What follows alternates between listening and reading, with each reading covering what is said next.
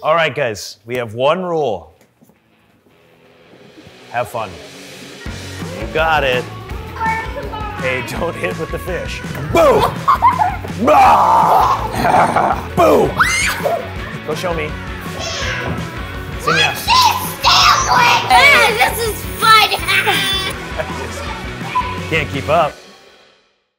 Hey, I'm Cory Hepola. I'm a husband, a dad, and we live in the Twin Cities. I was born and raised in Otter Tail County, Minnesota. Growing up, I was in such a hurry to leave that I never really got to know my home. What did I miss? What changed? I was gonna find out.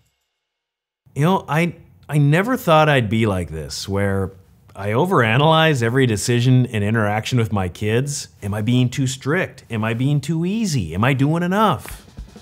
Oh yeah, no, thanks for asking. The family, yeah, we're doing really good. Uh, Camille's rocking. Our oldest is seven now, and the twins are six. Am I doing enough? That's the one I wrestle with the most. I, I think that's my own personality, my insecurity. But here's the thing. At the core, we all want to set our kids up for success, which means giving them unique learning opportunities through different experiences. I loved my childhood. We had the lake, I was into sports, and we'd go on family trips where I was able to wear that red fanny pack. But it felt like we had to travel to the Twin Cities or to Fargo for a lot of things. So caring, Yes. caring for others. Very that's much like it's like a genetic thing with you. Yeah. yeah.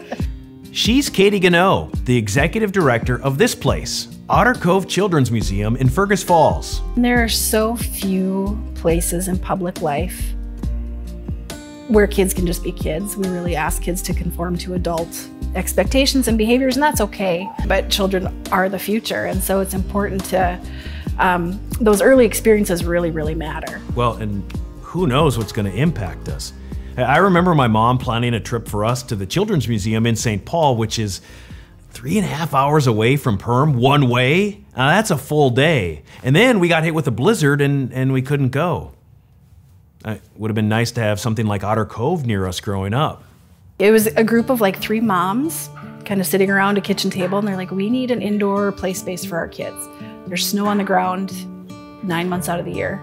We need somewhere to go. And so that was the original thought, was just kind of an indoor playground. But that original thought kept growing and fast.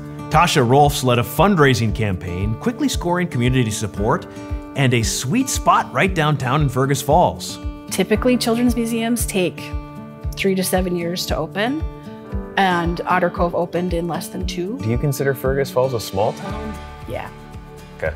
Oh, give me a break. It's not a dumb question. Fergus Falls was the big city for me growing up. It's so. I mean, this is really a unique thing for a small town. Absolutely, yeah. And uh, you know, the next closest children's museum is probably St. Cloud. No, I won't just give it up. Seriously, l- let's put it to the test. Is Fergus Falls a small town? You can be the judge. Here are just some facts about Fergus Falls. Again, you can be the judge. It's the Otter Tail County seat, has more than 14,000 people. Now, that's four times more than Perham, just so you know, not trying to persuade. They've got restaurants, craft breweries, shopping, trails, a riverwalk park by the Otter Tail River, and there are five different exits to Fergus Falls off I 94. Five. From Fergus Falls, right? Born and Born and What's- raised. So, like elementary school, middle school, high school, ever? You were All always of an it. otter. Always an otter. Katie grew up here. So did her husband, Nick. Were you in the same class? Yeah, yep, we graduated together. We didn't date in high school, but Really? yeah, no. Were you friends at all? We knew each other. We were I w- we weren't friends though. Both Katie and Nick went to college in the Fargo Moorhead area. Then, after college, when Nick was living in the Twin Cities and Katie was in Fargo, they were both home for Thanksgiving. And they met at a bar. Why come back home? You know, so my husband and I, we knew we wanted to start a family. Uh, both of our families are here. I grew up surrounded by aunts and uncles and cousins and grandparents, and I wanted the same thing for my kids. See, it's all about the kids. I, I know it's cliche, but when you become a parent, your whole perspective on life and what's important changes. We want our kids to be more successful than us, have it easier than us. But we all still need to have our own personal passions, use our own gifts for good. And I I think I think there's this misconception that if we leave the big city and go live a rural lifestyle, that, well, it's all over for us. You don't have to give up your passion to move back home to a small town. Yeah, yeah. It's just been. I think we were a little nervous about that when we first moved back, what we were giving up, but we've really found we, we didn't have to. It's all here. Like Katie's husband, Nick. He's a band teacher by day and has a band, the Winter Sloss, at night. And they've been doing gigs all over the area. He, just, he joined a band about a year ago. They're a dad band now. They all have kids, and so that's just been so important for him too to to kind of get back to his his roots a little bit with music. Is that their band name, Dad Band? It is now. The, the the last member just had a baby, so I think that's kind of their nickname now. Is the dad band? Really yeah. good. All right, guys, we have one rule have fun. And then there's Katie. She went to school for child development and worked as a professional development and training provider for childcare providers in North Dakota. She had no idea this, Otter Cove, was possible in her hometown. Probably about five years ago, I told my husband that my dream job would be running a children's museum. Never thinking that would happen because why would it? Um, and and here we are. And here we are, the place for kids to be. Since opening up in September 2020, Otter Cove has welcomed more than 41,000 visitors from 39 states, 8 countries, and hundreds and hundreds of zip codes. And if you look closely around Otter Cove, 20 of those zip codes are on display because Ottertail County has 20 zip codes and you'll see. So Otter Cove really was designed to resemble Ottertail County. Um, that's part of our mission is that kids coming to Otter Cove feel a sense of place and purpose. We've got the Ottertail River behind us. They can fish, uh, fish off the dock and catch their fish. We've got the Central Dam and the falls going into the river, um, just so really making that connection of our community. You know, we've got our, our otters, obviously. Uh, our critters are throughout. Uh, they're a pretty important part of, of this community. Okay, I want some lunch. And then the kind of the back half is really designed to resemble a, a mini downtown.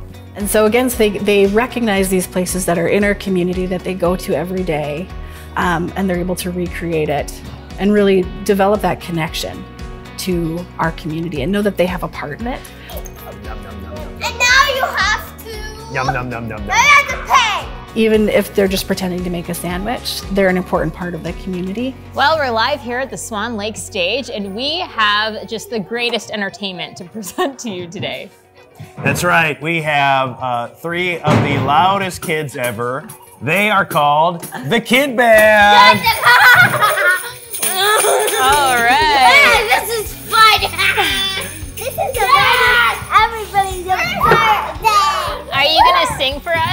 Guess not. Still not the worst show Camille and I have ever anchored together. You know, lots of times in live TV, you don't know what's going to happen, and that was one of those cases. Speechless. Yeah, I'm sorry. The way it's going to be after oh, that, Oh, no. they're just our whole house. Just every day, it's just Oh, that this place at the end of the day is. It's good though. Kids are here playing. so- yeah, yeah. Not just playing, learning, experiencing, and we don't have to drive hours in the winter to get there. It just shows the value that our community has placed on children, that there's a place designed for them to just be who they are, to learn how they learn, to be hands-on and, and play and explore it. It just just really speaks to um, the heart of this community. There's something to be said about experiential learning, having our kids actively interact with the world around them, the people they meet, the nature they see, the, the sandwiches they make, whatever. It all has value. Be passionate about our home and about learning more about others' homes. You know, that just might be the best lesson for our kids.